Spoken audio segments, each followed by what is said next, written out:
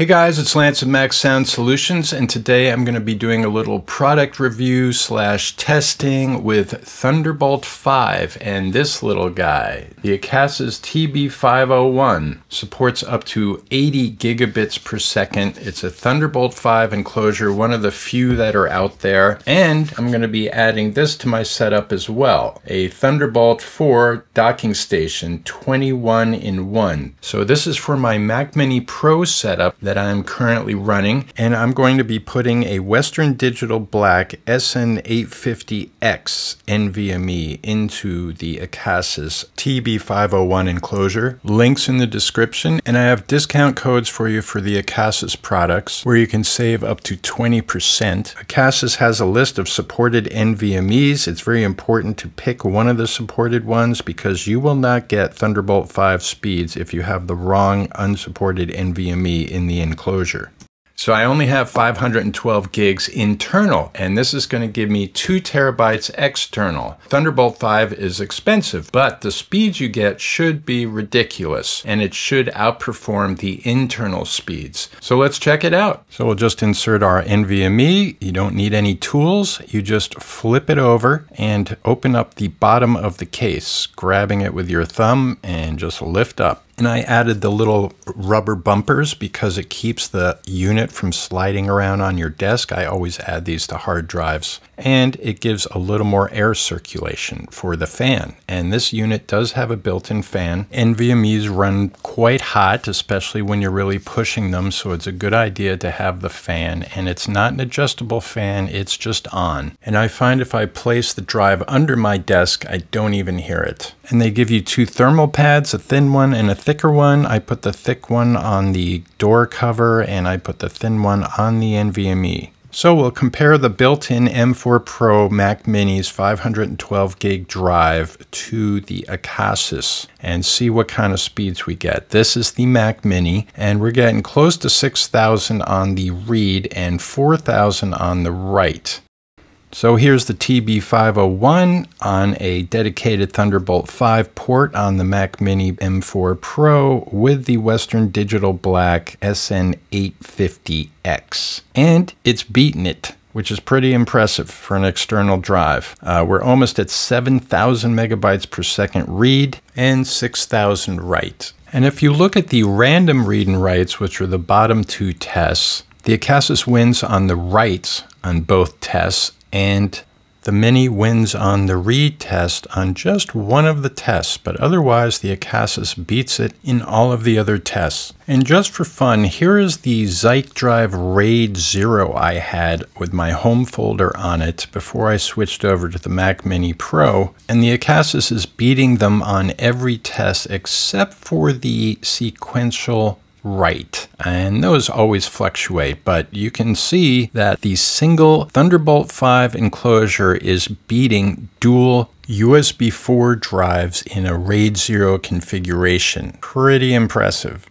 I also tried the dual ZikeDrive RAID 0 config on the Mac Mini M4 Pro, and as you can see, the speeds are basically exactly the same as they were on the base model Mac Mini because it's Thunderbolt 4 and you can only get 3000 megabytes per second per drive. The other thing that's super impressive about this drive is the fact it's running so cool. It's only at 44 centigrade, and that's exactly where the Mac Mini drive is sitting at, 44 centigrade. When I was using the dual Zike drives in a RAID 0, a RAID 0 is always going to use more power. It's going to make the drives run hotter.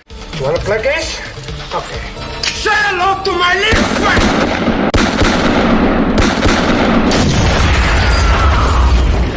And it's, of course, much riskier than having one enclosure doing all the work in a single drive. So I'm running my external home folder, I'm editing this video, and I have not gone over 44 centigrade in this entire hour of editing. Pretty impressive. And of course, a lot of that's due to the fact that the enclosure has a fan. I can hear the fan from the enclosure but if I place it under my desk, which I have a little table below it, I can't hear it at all. So you can position the drive so you do not hear the fan at all. And honestly, you don't want to be touching metal enclosures because if you have a major static charge and you touch a drive, it can eject it from your desktop and possibly also erase data. So always put your metal enclosure drives that are attached to your computer somewhere where you're not going to touch them while everything is turned on. And as you can see, my home folder on the Acasis drive is using almost 500 gigs. So I've already eaten up all that space that would have been on the internal drive. I'd only have about 30 gigs left. And because I'm running my home folder, my user account on the external drive, I have 460 gigs available to me on my internal drive. And I don't have to worry about overfilling up my internal drive. So while this setup is going to cost you about $400, to get a Mac Mini M4 Pro with 2 terabytes, it's going to cost you an additional $600. But you could go with a 4 terabyte external drive and the savings would be even more so. And currently there are upgrade options for the base model Mac Mini, the M4, not the M4 Pro. There's not an internal SSD that you can swap out for that yet, but there probably will be soon. But if you run out of storage with the external drive, you can always buy a bigger NVMe, right? It's simple. And you're not voiding your warranty by opening up your Mac and possibly messing it up. So I thought I'd do a stress test reading and writing to the disk and you can see the first test, which is where the red arrow is, never got really up to 60 centigrade. And because I have two of these enclosures, I tried disconnecting the fan on the second one, put the same NVMe into it, and ran the test again. And you can see it runs quite a bit hotter without the fan and got close to throttling, but it never did throttle. It kind of went way up and then came back down a little bit. Then I reconnected the fan and ran the test one more time, and you can see that it really does help to have the fan on.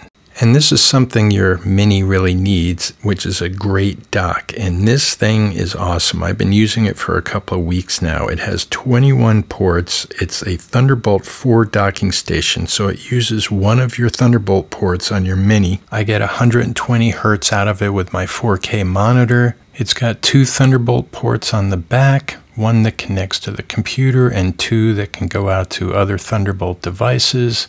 It's got a mic input, a headphone jack on the back, a headphone jack on the front, four 10 gigabit USB A ports, an HDMI port, 2.5 gigabit Ethernet, micro SD card reader, and an SD card reader, two more 10 gigabit USB C ports on the front, a charging USB C port with 30 watts of charge. I mean, this thing's got it all. And it's got a power button, so you can turn it on and off. You don't have to have it on all the time if you don't want to. And you're not going to have to go behind your Mini and plug things in all the time or plug them into the front of the Mini. I think this is the star of our show right here. This is a really good dock. It's been extremely reliable. And of course, no computer setup is complete without a good solid backup plan. And I'm using the Acasis TBU 405 Pro Max for my Time Machine backup. It's got two NVMe slots, a switchable fan, a 10 gigabit USB A port, a 4K 60 Hz HDMI output,